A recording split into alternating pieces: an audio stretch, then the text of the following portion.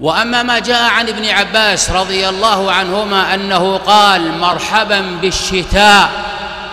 تنزل فيه البركه فانه حديث ضعيف لا يصح عن النبي صلى الله عليه واله وسلم